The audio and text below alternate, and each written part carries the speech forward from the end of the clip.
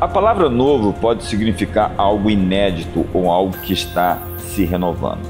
Estamos em um turning point, um ponto de inflexão, onde um novo mover de Deus surge no horizonte. Estamos no segundo tempo da Conferência Global. Após 12 edições, iniciamos um novo ciclo. Não vemos o tempo apenas ano a ano, mas em ciclos que começam e terminam. Desde 2012 vivemos um tempo apostólico e em 2024 chegamos a um novo momento especial. Estamos avançando para uma nova temporada com mais autoridade, unção e glória. Este é o tempo de experiências inéditas.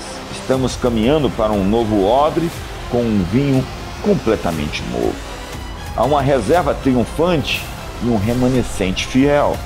Novas ferramentas, unidade e recursos surgem, permitindo avançar como um posto avançado do reino de Deus nesse mundo.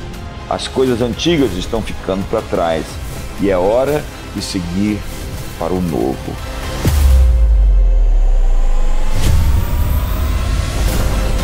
Conferência Global 2024. Um odre novo para um vinho novo.